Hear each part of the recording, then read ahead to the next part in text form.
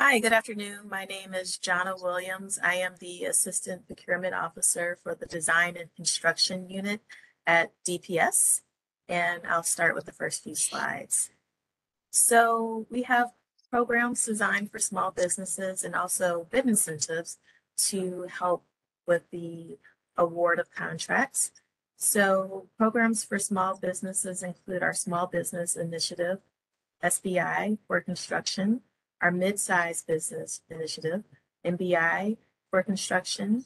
We have equal employment opportunity, EEO, um, incentives on our contracts and apprentice utilization and bid preferences. So the program goal is designed to encourage small businesses to participate in city-funded construction projects under $3 million in total cost. Some of the key points is your firm should be small and local within the six county region. And the programs are for exclusive for small business bidders. We have two tiers of the Small Business Initiative, the SBI 1 and the SBI 2. The SBI 1, the total estimated cost for um, projects is under 2 million and it's per the small business um, size standards. SBI 2 is the project cost is less than 2 million and the standards are half the small business size standards.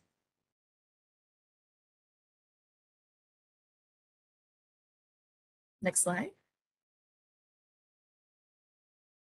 So it's designed to increase um, small business and medium medium sized businesses as prime contractors for our city funded construction projects.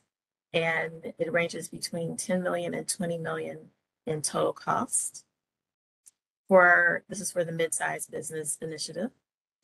And for this, we're looking for small to mid-sized businesses, which are located in the six county region. And the MBI program is exclusive to the medium and small size bidders. The estimated project cost again is between 10 to 20 million dollars. And eligible bidders have the size limitation, which is one and a half times the small business size small business standard.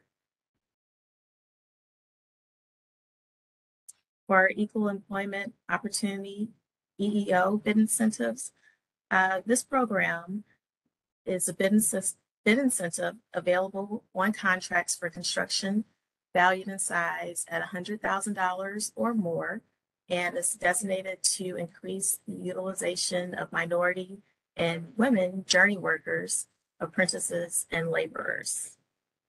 So any bidder proposing to utilize minority and or women journey workers, apprentices, and laborers on a contract for construction may apply for this incentive. The bidder must show its commitment to utilize minority and female workers in any of the three categories by completing a canvassing formula, which is submitted with your bid.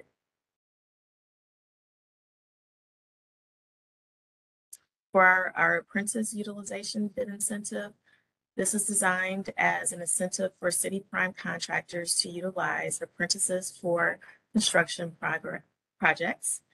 By apprentice, we mean a person who is sponsored into an apprenticeship training program by a contractor that is authorized by a union to sponsor apprentices. And two, these people will be enrolled in or graduated from a construction technology training program administered by the City Colleges of Chicago, or is a graduate from a high school operated by Chicago Public Schools. This is also for contracts valued for more than $100,000 and it's an incentive for future contracts. It's a tiered incentive, so 5 to 10% of the work if five to excuse me, five to ten percent of the work is performed by an apprentice, an apprentice that will result in one half percent bid incentive. If eleven to fifteen percent project area um, subcontractor work will result in a one percent bid incentive, and the bid incentives artificially reduce your bid price to give you hopefully an advantage to win the bid.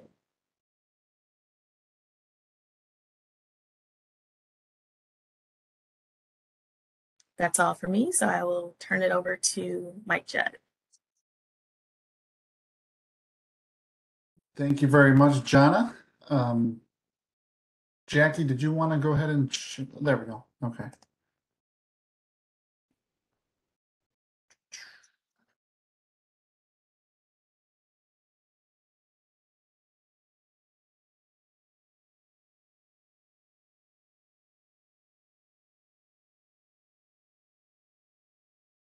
Um, one- Okay. We just need it in PowerPoint, um, I mean, a presentation format. Yeah, there, there you go. All right, perfect. Well, thank you again for giving me the opportunity to present job order contracting on behalf of the city of Chicago. My name is Michael Judd. I'm a senior account manager representative for uh, procurement. And this is kind of the agenda of what we're going to be discussing today as far as job order contracting. Um, we're going to review the overview of what job order contracting is, what the job order contracting process looks like, some benefits to JOC if you're a prime contractor looking to get into one of the JOC programs or subcontractor looking to work with any prime contractors currently in a JOC program. Then we'll kind of touch the surface on how to bid as a prime contractor using some adjustment factors using our book, and we'll get into that later on. With wrapping up key points and review of what we went over, and then some open discussion at the very end. So kind of a brief overview. Uh, JOC has been around the city uh, since the 1990s, but has been with the federal government since the mid 1980s. So JOC has been around for quite a while, and it has grown. The city has used it a lot to the point where there are over 2,000 job order contracts issued nationwide, with close to two billion dollars worth of total volume construction ordered on an annual basis. So it's grown as a um, primary procurement method for a lot of departments across the country. And it is one of the procurement methods that the city of Chicago uses. A couple of awards in 2005, the uh, job order contracting program for the city of Miami won the NIGP award. And then locally here, Cook County received the NACO award for their use of the JOC program. So it is starting to branch out more and more. But what is job order contracting?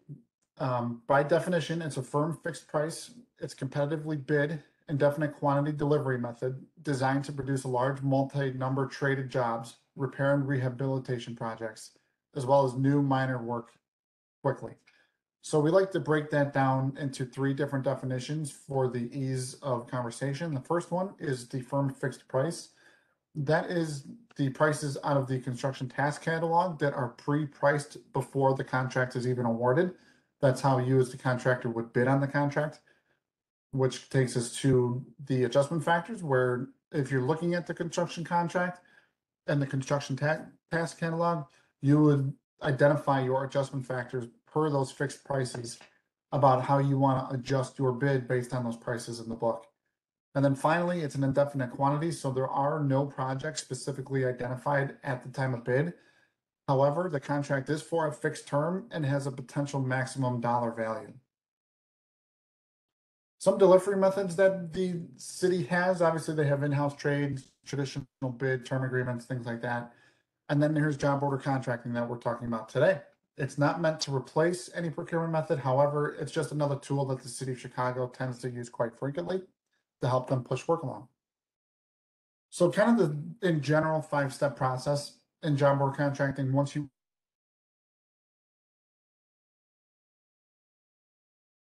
get down into. The first one, we mentioned it was kind of like an IDIQ where there's an indefinite delivery, but a maximum potential volume. You can have more than one job, so Michael, you, you went in, in and out. Something happened and we lost the sound. can you hear me now? Yes.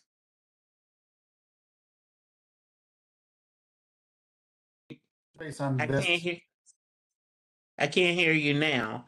Um, is, can you start this slide over from the beginning of what you were saying? Because it kind of went in and out. sure, this slide here. Yes.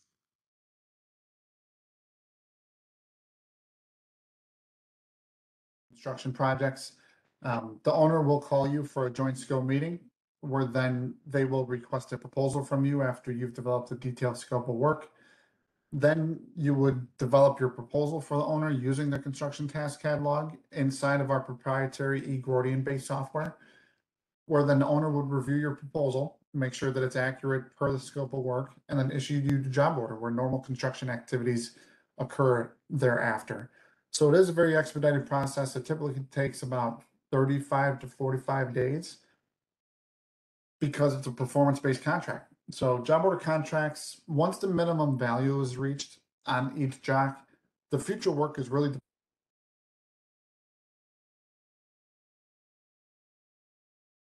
based on how you're performing. So number one is your responsiveness as the contractor. It's rated from way at the beginning at the joint scope meeting through the project development phase, all the way through construction. So pretty much start up to closeout. Their project development phase, there's specific criteria such as scope de- definition, timely and accurate price proposals, engagement during that process. And on the construction side, it's timely startups, effective management of the work crew and subcontractors, and then ensuring the project is construction according to the client specifications. Ultimately, you want to have success in developing that partnership with the owner. And it really depends on how accurate your adjustment factor is at the time of bid and the quality of staff that you have. So these are the specific measurables. Quality price proposals, timely price proposals that are submitted on time or before the due date, timely construction, which is rapid mobilization, adherence to agreed upon construction schedules, things like that. Quality construction, which is good quality construction throughout the entire project. And then the achievement of the MWBE goals, because there are compliance goals on each job contract. And then finally, achievement of self-performance goals. You want to achieve those that are set forth in the contracts as well. So some benefits to JOC as a prime contractor. It can be very profitable. Uh, profit is a function of volume. And as I touched on before, volume is driven by performance. So if you perform very well as a contractor, you're going to be assigned more work because ultimately the department needs to get work done. Ultimately, then, as you get more projects, that's more overhead and profit that you build in your portfolio, and ultimately that profit is a function of that. JOC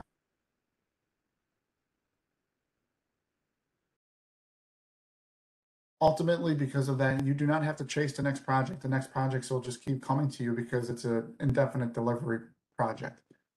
You can develop that long-term relationship with the city where it becomes non-adversarial and you can develop that partnership where you get that familiarity so that you can bid on that contract again and finally it's professionally rewarding there's different types of projects even though you may you might find that different departments have different complete scopes of work however each department has their own specific projects, so they're going to vary in scope. And it gives you the ability to provide input during that scope development, so it's professionally rewarding. As far as subcontractors are concerned, the benefits for subcontractors is that, as I mentioned, there's no projects identified at the time of the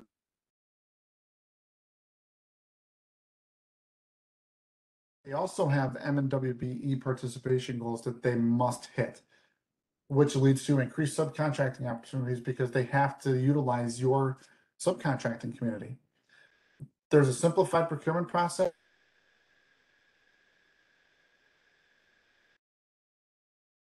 Contractor, you can be on multiple projects at multiple sites simultaneously as well. So that's just something to keep in mind as you work towards developing that relationship. There are a variety of methods that the subcontractors can provide a quote to the general, and the general typically asks in a certain format how they would like to receive that. These are the three that we have found that they typically ask for. You can provide a lump sum quote. You might be asked to provide a lump sum quote with material breakdown. And then obviously they might want you to provide that lump sum quote with the material breakdown and CSI numbers from the construction task catalog that they're bound to. If they ask for that, that does not mean you're bound to the prices in the CTC. You do not have to accept or join in that work. It's just something to keep in mind. As bids go out on the street, you may want to download those specifications so you get familiar with what that CTC looks like. And then finally, as I mentioned, JOC is a performance-based contracting system that requires the high-quality construction. That's where generals who typically might not be, for example, in MEPs, there might be a carpentry GC. That's where they're going to look to you to try to get that high-quality construction at. So those are some of the opportunities that subcontractors have with current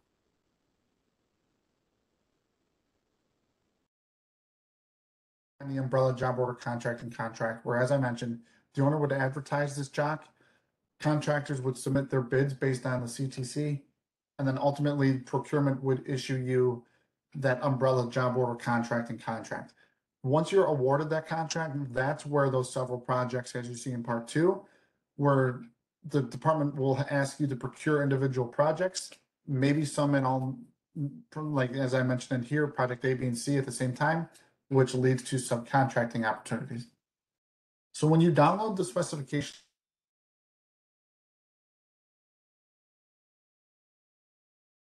book, book one is the instructions to bidders and execution documents.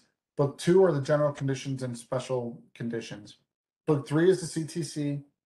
Book four are the technical specs that tie to book three. And then finally, book book five is if the client has their certain specifications, they'll include that in the solicitation as well. So we go over books one and two pretty heavily in pre-bids. I would suggest the next job contract that is out, you join one of those pre-bids and download those specifications so you get familiar with it. But we'll be going into book three, um, which there typically is a link in procurement to click, which will take you to PDFs of it. And what it is, it's a catalog of pre-priced construction tasks that allows you as the contractor to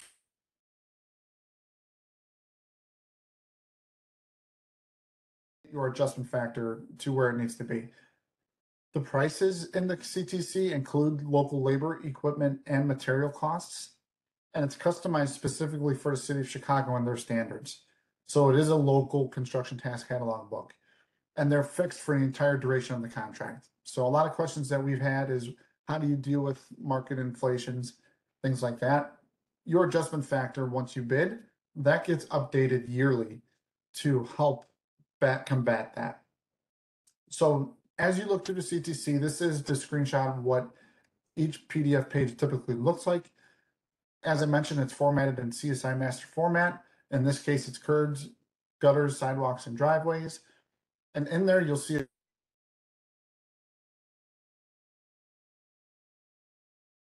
includes two saw cuts at each end, things like that. There's modifiers, which is pretty much an economy of scale. Just like if you go to Costco, if you buy in bulk, you're buying at a less dollar value. That's that's how construction works as well. So that's how the CTC is set up. For up to a small quantity, you can add. If you're doing a large quantity and there's modifiers, then there will be a deduct modifier per that square footage or linear footage unit cost.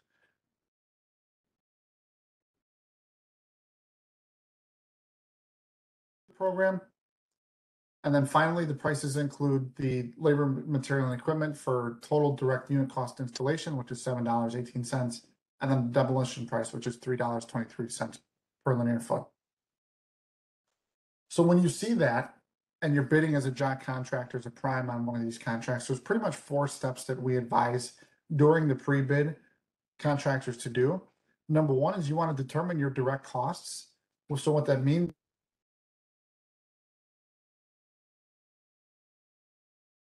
Um, you want to make sure that you have completeness and clarity with that. So what that means is you want to review the price against your direct costs for accomplishing the work. Um, the prices in the CTC do not include subcontractor overhead and profit. So what that means is you have to add that on top of what you're building in your proposal. And then ultimately, it depends on the amount of self-performance you have. If you need to cover your subcontractor's overhead and profit, you need to add specific margins for that. That would lead to step two, which is bonding insurance, etc. Um, main overhead is your staffing. And then how much would it cost to employ that and how that ties to your normal working hours, which goes to step three, which is you want to, you're going to have to supply two, two adjustment factors for normal working hours during the normal day and then overtime for non-normal working hours. You must cover both of those with direct costs, overhead and profit, and you should not exclude any tasks. And then step four, you want to specify equal employment opportunity.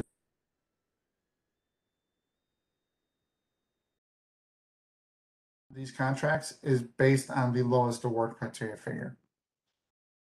So this is a general example. What I like to give during these workshops is, let's say you have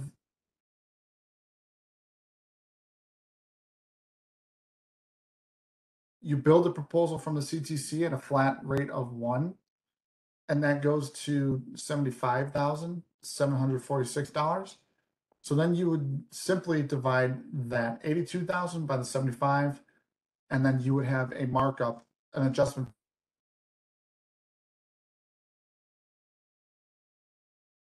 Our specific steps in JOC contracts that are out on the street, and also we have our website to help you do that as well as we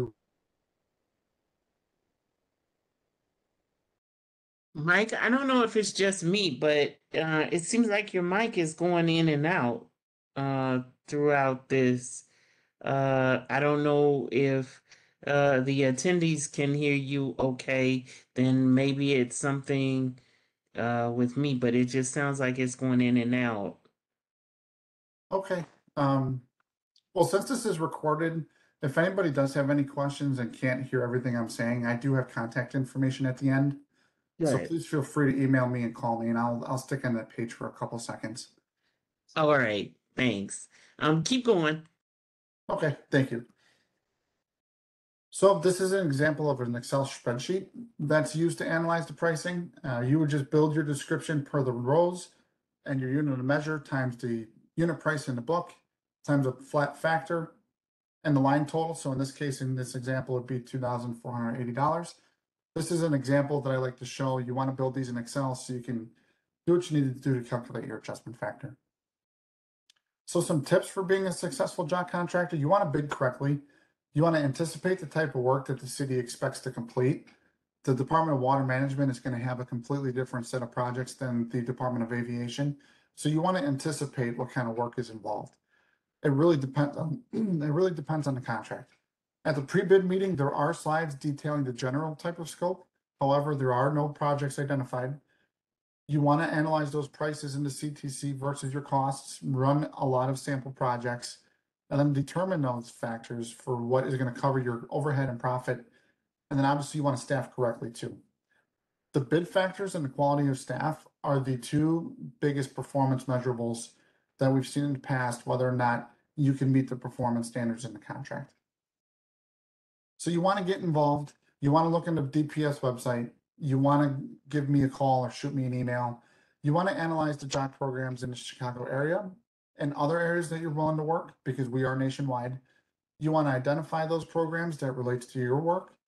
For prime contractors, you want to analyze the prices in the CTC and make sure your adjustment factors fit to what those prices are. And then for subcontractors, you want to establish that relationship with those primes that currently have job contracts. So again, this is just a review and key point. Um, JOC is an established procurement system used by several different types of public agencies. Those are the five steps in a simplified 35 to 45 day process. JOC really is beneficial for all parties, whether it's the owner, the prime, or subcontractors. And that performance is based on that contracting system that we've covered several times. And then for subcontractors, just be aware of the methods to submit a quote to contractors and be ready to perform at a high level. These are the departments with the JOC program currently. I'm not going to read through all of them, but since this is being recorded, you will have the opportunity to see this the screen. And then the Chicago land area JOC programs, there's a list there. Um, it is just for informational purposes only. This is a City of Chicago Department of Procurement presentation, so we're not going to answer any questions on these today. Um, but certainly you can look on these websites and find their solicitations and advertisements as well. And then to find out more information, which applies to all the city contracts, sign up for those DPS alerts because those are really important. You'll see every solicitation that goes on the street, not just JOC. Uh, you want to check out the procurement website. You want to go to that website there um, and look up their current bids and requests for proposal. And then they still advertise in Chicago Tribune, so you want to check that out as well. So I do apologize if my mic was going in and out through that process. Uh, if you have any questions after going through this recording, my name is Michael Judd again. I'm the senior account manager on behalf of the city of Chicago. And that's my email, m.judd at gordian.com, and my phone number is 312 489 7277. Again, I do apologize and appreciate your time. Thank you. Not a problem. Thank you so much, Michael. And um, Michael has given this presentation before. So, um, where I said that you can go on youtube.com, any parts that went in and out, you can always check uh, in in his previous uh, workshops just to uh, see if you can get that that piece of the sound uh, that might have gone in and out. It could have been just something on my side. I don't know. But um, anyway, uh, if you have questions for Michael or Jana, uh, feel free to put them in the Q and A uh, area. We will take open it up to take all questions uh, at this time. Just go to your Q and A uh, area, which is in the bottom right-hand corner of your screen. If you do not see Q&A, um, click on the three dots, you'll get a menu, and then click on Q&A from the menu. Go ahead and type in your question. Um, before we uh, take any questions that might be in the Q&A area, um, just let me say that I have uh, forwarded through the chat area to all of you a copy of where you can find the, uh, Michael's presentation, um, and you can find uh, um, information um, regarding uh, the uh, YouTube uh, recordings that we have in there as well.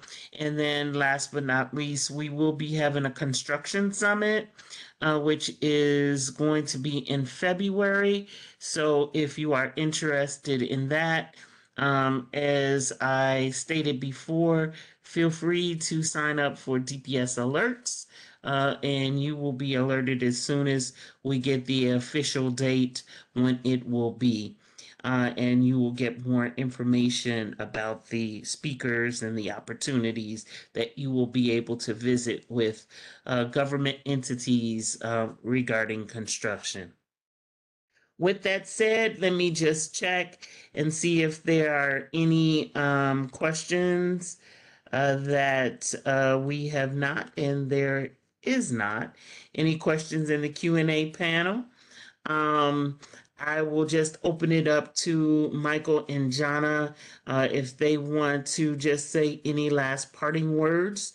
Um, and maybe someone might, uh, uh, you know, get uh, some idea of a question that they might have. If not, um, we'll just let them do the parting words, and I will thank uh, both of them for appearing today and uh, going through the workshop and giving you information on how uh, this particular program works and, uh, with uh, the Department of Procurement Services and how it will benefit you. So, Michael, if you want to um, uh, unmic yourself and anything that you would like to just give them last minute tips or information regarding the job program, feel free to go and do that. Sure. Thank you, Jackie, again, in the Department of Procurement. Um, as I mentioned, please give me a call or shoot me an email. I'll be certainly happy to help and uh, try to get you involved more in JOC. So thank you for your time. Thank you. Great. Jonna, did you want to give any uh, last words as well? Uh, Same for me. Please feel free to reach out via phone or email if you have any questions. I am here to assist as well. Thank you, Jana. Um, well, we will just end it here. I think we've had a good uh, discussion uh, regarding how you can be involved with DPS in the JOC program. Um, again, their information is online and uh, it will be up. Uh, this uh, tape will be up by Friday. And um, I will say thank you for attending. We'll see you at the next one. Be safe, be well, and hopefully we will see you in February at the construction summit. Thank you all. Have a wonderful rest of your day. Thank you. Thanks.